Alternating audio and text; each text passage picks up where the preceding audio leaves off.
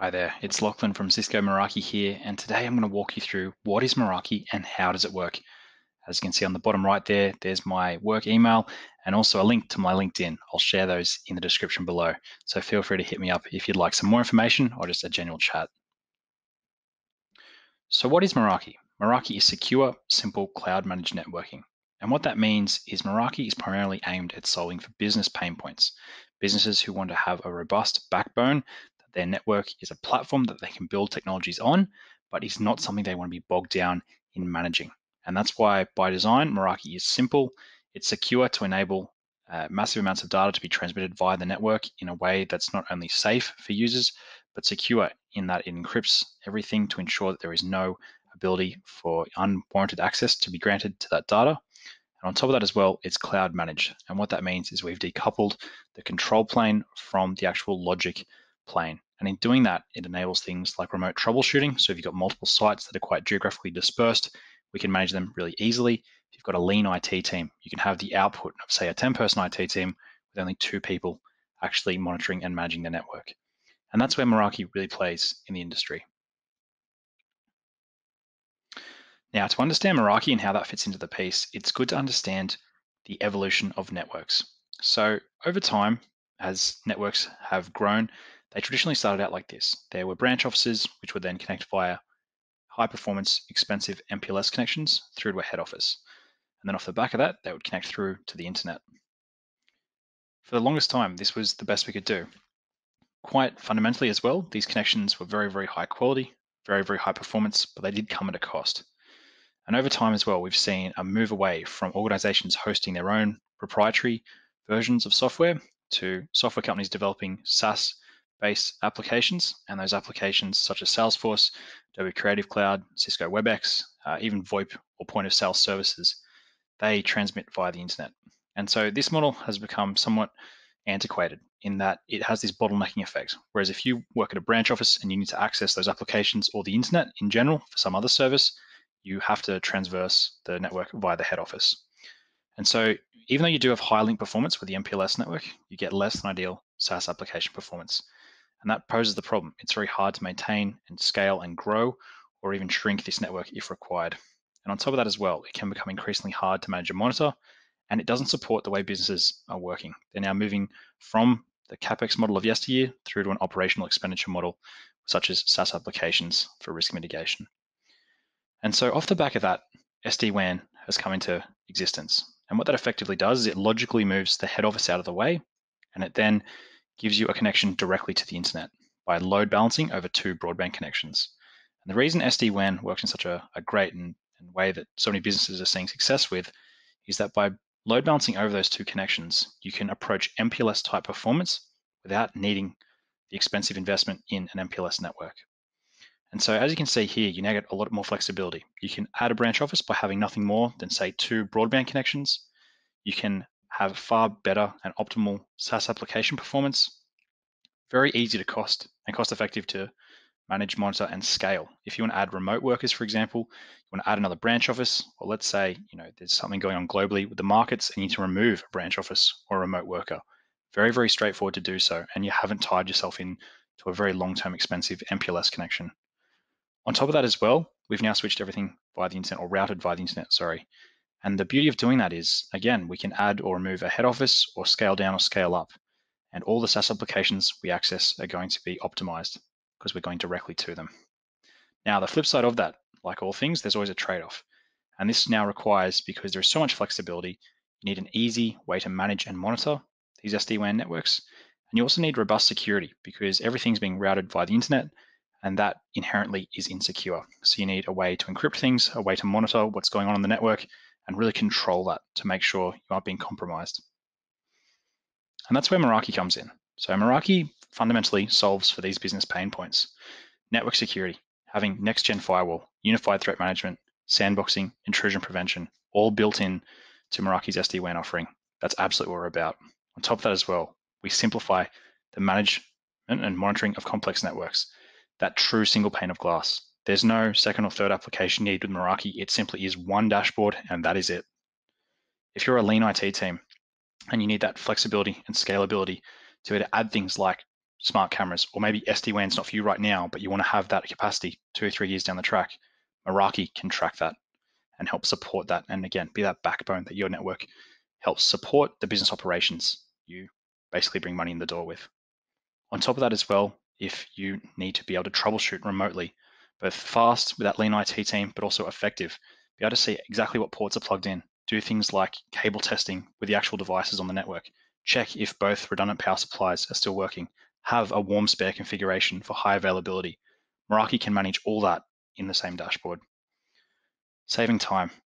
Again, if you've got lots of dispersed sites, you've got quite a complex network need, you don't want to be spending all your time bogged down by having to physically go and attend a device to plug in a cable to actually diagnose. You want to be able to do that via the cloud, log in anywhere you've got internet access, check what's going on, reset something, monitor it, make sure it's back up and running.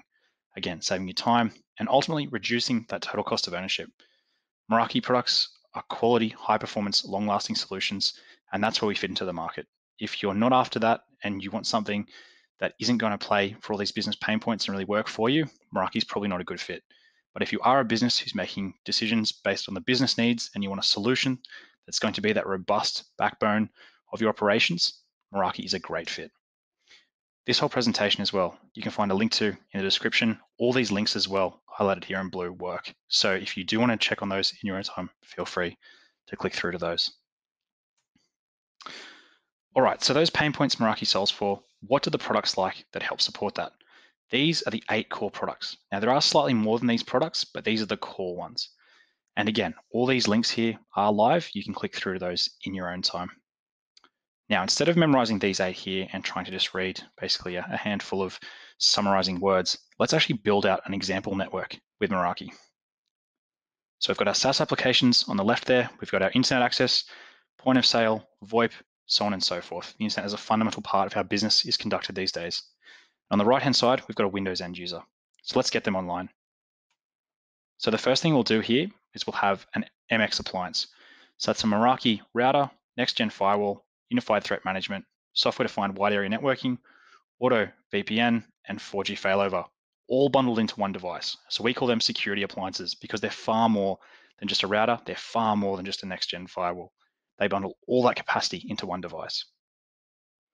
Now, you can also see here the Meraki dashboard has popped up. That is the core to the Meraki offering. Meraki never added the dashboard as an afterthought. We were always cloud first. There is no option to actually manage Meraki devices directly in most instances. It's designed to be completely cloud driven. And the reason we designed our networks like that is so we wanted the experience of users in the tech community to be seamless. We didn't want people to be bogged down with having to physically go to sites, plug in devices. We want them to be able to log in online, get something sorted, get it fixed. And with Meraki's licensing and support that comes with that, we can help troubleshoot your own networks as well remotely. So you get a lot more time savings there and a far more thorough and complete user experience. All right, so we're not quite online yet. Let's add another device, Meraki switching. So here we can see we've got Meraki switches, our MS series, multi-gigabit Ethernet plus fiber, and virtual stacking.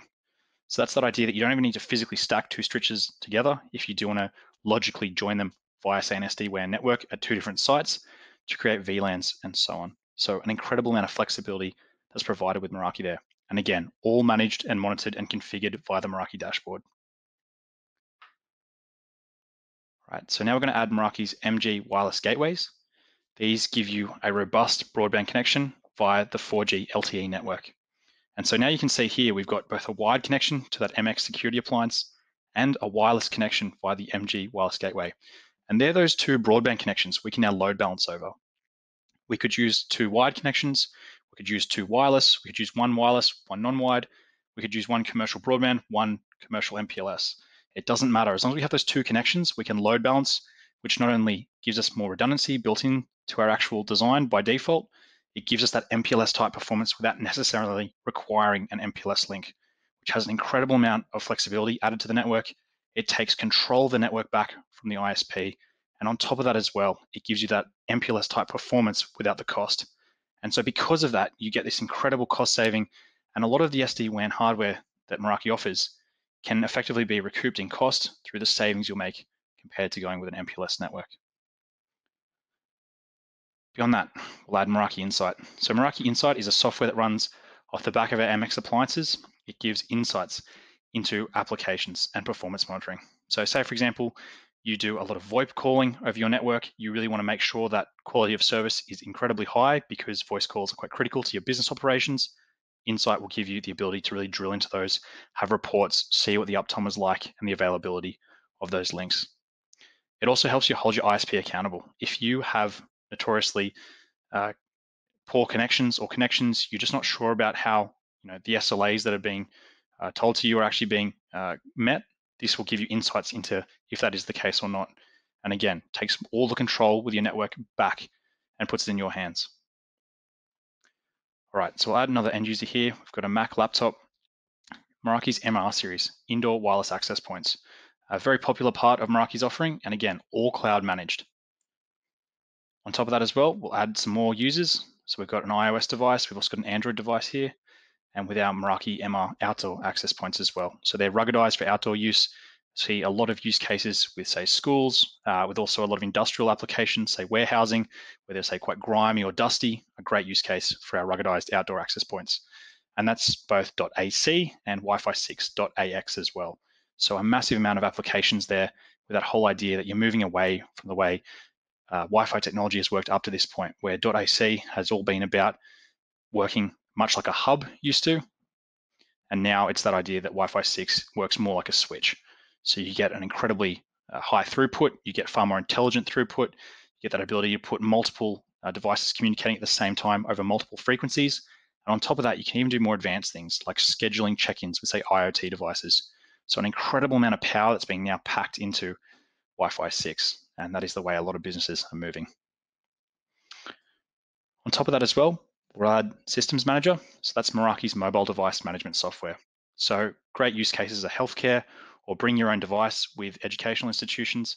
If you need a way to manage and monitor those devices, say remotely erase them, if they had, say, some health data that's very sensitive on there, maybe some legal data, for example, a great lightweight way to install an MDM, manage it through the exact same dashboard you manage the rest of your network through, and give you that control you so need.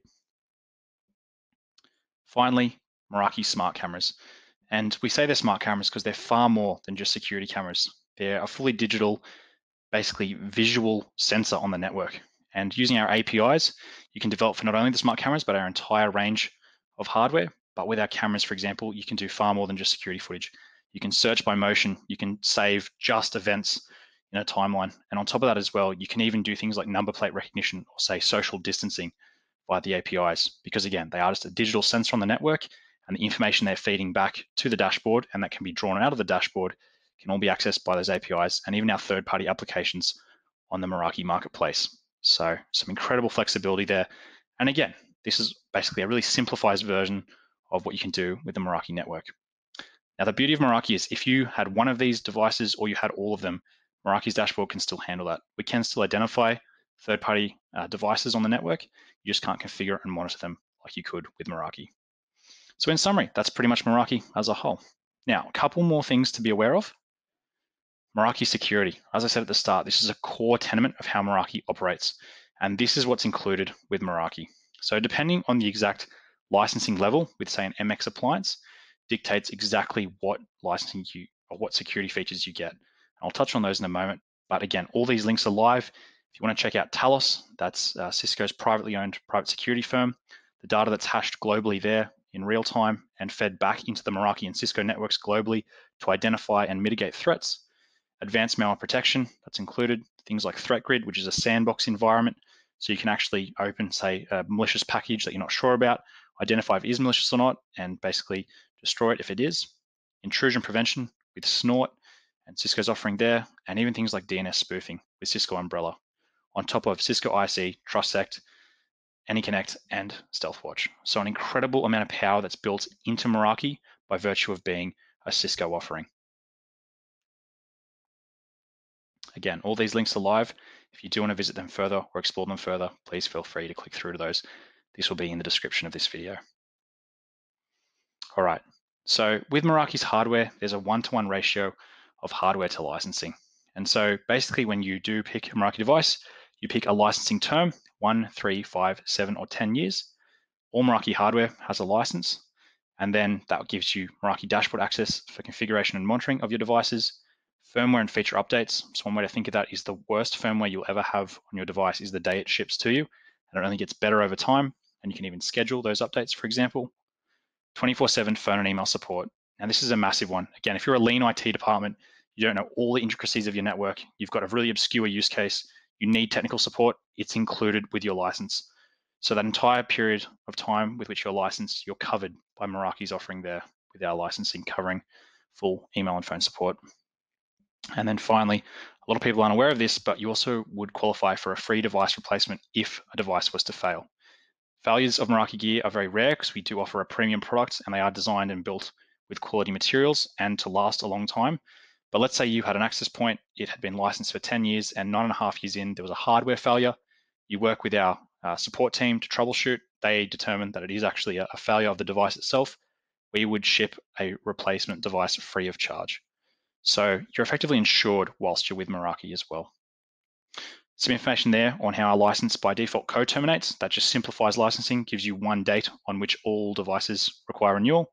Or if you wanted more control over per device, um, licensing, you could go to that per device licensing. And what that would do is, as the name suggests, give you each individual device its own individual license. And so you have a range of dates at which certain devices are due.